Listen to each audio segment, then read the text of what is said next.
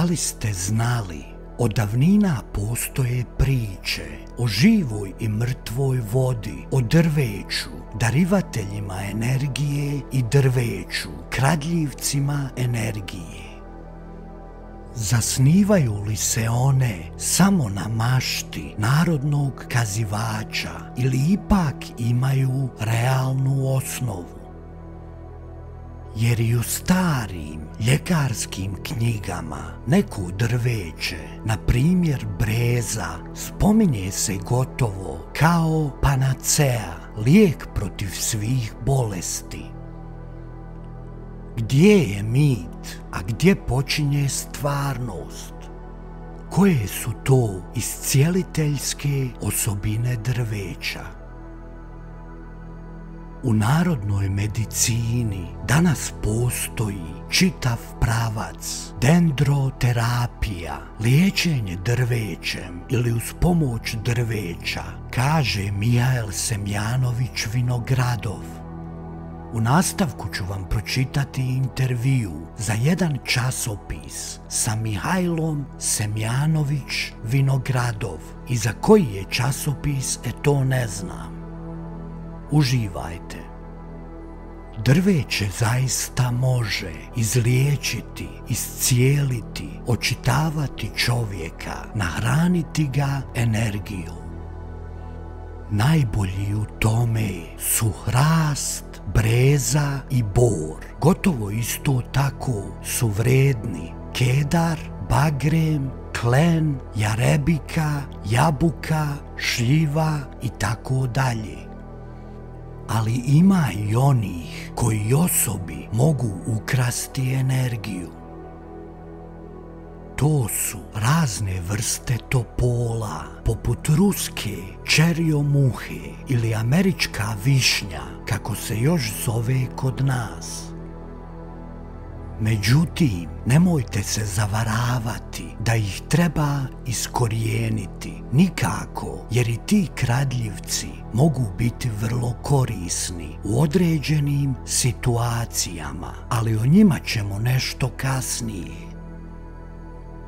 Znate, postoje zapisi da su još u predhrišćansko doba djevojke odlazile brezi da bi nakupile pozitivne energije i da im udaja i život budu sretni.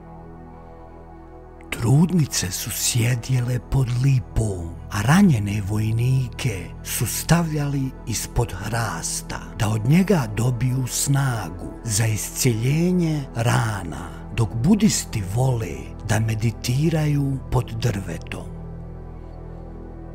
Vidari su preporučivali ne samo sjedenje pod drvećem, nego i penjanje po njemu, takozvano drvolaženje, kako bi se snaga drveta što više preuzela, odnosno razmijenila sa čovjekom. I danas se djeca instinktivno penju na drveće, a mnogi grade kuće u šumi. Kao što vidite, ništa novo pod suncem. Kakva su pravila komunikacije sa drvećem, sa ciljem liječenja? Pravila komuniciranja sa drvetom koje daje energiju iscijeljenja su vrlo prirodna i jednostavna. Stanite licem prema drvetu, donatoru, na rastojanju od 40 do 60 cm. Zatvorite oči i opustite se. Koncentrišite se na to da primate njegovu energiju i zamislite da se vašim tijelom od ozgo nagore lagano podiže topli talas energije Posle opuštanja počnite raditi vježbe disanja koje će vam pomoći u raspoređivanju dobijene energije po čitavome tijelu. Pravilno disanje podrazumijeva udah, zadržavanje vazduha u plućima, izdah i period kada su pluća prazna do sljedećeg udaha. Svaka faza traje 4 do 8 sekundi, a moraju se sprovoditi ravnomjerno, bez mučenja i prekida. Tokom zadržavanja daha dolazi do razlivanja energije drveta koja se pretvara u vašu bioenergiju. Komuniciranje sa drvećem ne treba trajati dugo, nekada ne više od nekoliko minuta i to je najbolje raditi predveće prije spavanja. I sami znate da se čovjek posle jedne kraće večernje šetnje po vrtu ili po gradskom parku osjeća mnogo bolje i podmlađeno. Najbolje je ako se osamite negdje u prirodi ili kraj svog drveta koje znate i koje vas poznaje od djetinstva. Znate, nekada je bio lijep običaj da se, kada se dijete rodi, posadi drvo, na primjer rast za dječaka, jela, breza ili lipa za djevojčicu. Posebno je zanimljivo gledati kako oboje rastu i razvijaju se. Dakle, veoma je dobro boraviti u poznatom predjelu, ali ne mora biti tako dobro je u prirodi srediti misli, preispitati postupke, izgovoriti molitvu, osjetiti povezanost svega što diše pod kapom nebeskom. Najzad treba znati da dendroterapija pomaže samo ako je sprovodite redovno, ako vam to postane dobra navika. A šta da radi stanovnik Velegrada koji nema park u blizini, a o nekom šumarku da i ne govorimo? Specijalisti predlažu da se koriste tanke ploške koje su narezane od različitih vrsta drveta. Iako svako od nas ima svoje drvo, primijećeno je da se hrast breza i bor uklapaju u gotovo svačiji profil. Akademik Boris Dodonov je uspio stvoriti univerzalan korektor čovjekova biopolja. To je obična pločica, komad određenog drveta, širine 20 do 30 centimetara, i debljine 10 cm. Ovaj komad ima otvor u sredini i sedam kosih radijalnih ureza oko tog otvora. Rekli ste da neko drveće dodaje, a drugo oduzima životnu energiju. Da, drveće donatori, davaoci energije, stvarno imaju osobinu da u sebi akumuliraju veliku količinu kosmičke energije. To su spomenuti rast, breza, bor, cedar, bagrem, klen i tako dalje.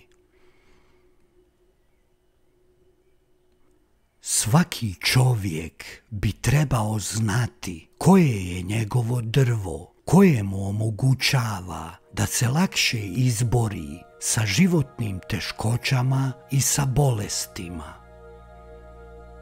Kada to spozna, treba ga zasaditi u svojoj blizini.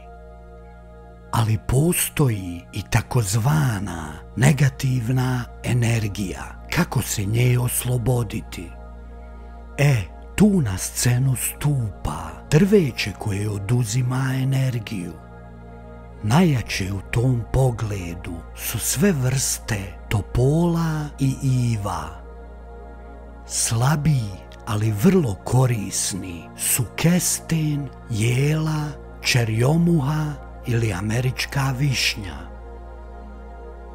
Oni su izvanredni za liječenje nekih oboljenja.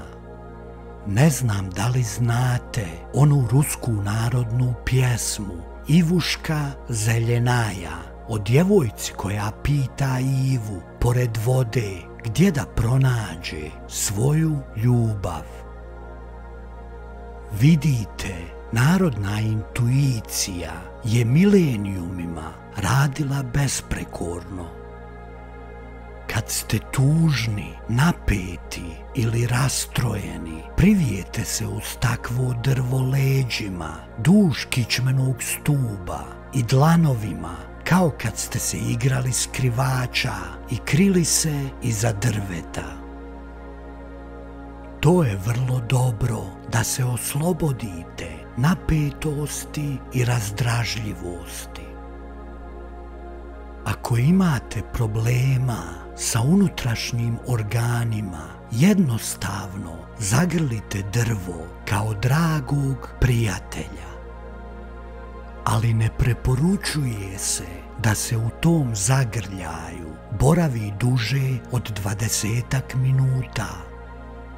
Ne treba naglašavati koliko je bolje da za terapiju koristite živo drvo, a ne njegov komadić, ali u slučaju nužde može i tako. Bolji su komadi od gornjeg nego od donjeg dijela drveta. Ne znam je li vam poznato, ali u Rusiji se oduvijek na ovaj način liječila zubobolja, angina, gastritis i glavobolja. Pet do sedam minuta držite daščicu pored bolnog mjesta i gotovo. Ove metode ne mogu naštetiti i preporučuju se posebno onim osobama koje pate od spazme velikoga mozga ili kardiovaskularnih bolesti. Dozvolite da vas zbog ličnih interesa upitamo o brezi. Nju su opjevali pjesnici. Jesenjin joj je posvetio mnoge stihove, a u literaturi ima toliko opisa i recepata za liječenje brezinim sokom, lišćem, pupoljcima i tako dalje. Tačno je da je breza najpopularnija jer ima čitav niz lijekovitih i iscijeljujućih svojstava. Dovoljno bi bilo da jednom nedeljno odemo u Brezik i zaberemo jedan od većih primjeraka ovoga lijepog drveta i da ga zagrlimo i ostanemo uz njega 15 minuta.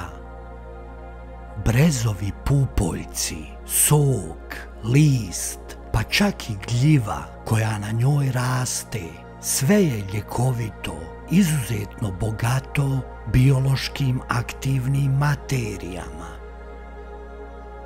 U lišću breze ima eteričnih ulja, vitamina, rutina, karotena, fitonicida, flavonoida i tako dalje. Mlado lišće sadrži i proteine, masti i vitamine. Najbolja je takozvana bradavičasta breza, ona koja je kao posuta, mirisnim smolastim suzicama. Čajevi od lista breze su odlični protiv povišenog krvnog pritiska, a ublažavaju i bolove. Razni biljni preparati od breze poboljšavaju cirkulaciju, razgrađuju trombove, upale na koži, upale pluća, bronhitisa, bolesti žučne kesice, urinarnih puteva i drugih. Vrlo je korisno da se breza upotrebljava kod bolesti izazvanih radijacijom. Breza ubrzava zarastanje rana, reguliše rad jetre i žučne kesice. Pijte čajeve od breze i kombinujte ovaj postupak sa boravkom u prirodi i direktnim kontaktom sa drvetom po mogućnosti bosonogi.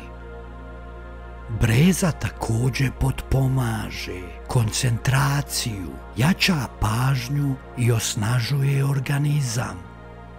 Ona još i sjajno ionizuje vazduh. Hrast također ima izvanredna svojstva. Prije svega djeluje kao antistresna terapija aktivira cirkulaciju i smanjuje vrijeme ozdravljenja. Jedan je od najboljih generatora pozitivne energije. Bor smiruje i eliminiše psihičku napetost. Bukva jača otpornost na stres i jača koncentraciju, povoljno djeluje i na cirkulaciju. Kesten olakšava reumatske tegobe, eliminiše nesanicu i kako kaže narodna mudrost, tjera strah i napetost različitog porijekla. U periodu cvjetanja direktan kontakt sa drvećem može izazvati neželjene reakcije, ali ne i opasne. Drvo djeluje na prostoru kome raste, ono ga na određeni način štiti. Loše stanje drveća oko kuće je znak vlasniku da nešto nije u redu. Poruka dakle glasi, naučite komunicirati sa prirodom, shvatite njene poruke, to će vam mnogo pomoći, objašnjava Mihael Sejmanović Vinogradov. Hvala na pažnji i do idućeg videa. Veliki pozdrav!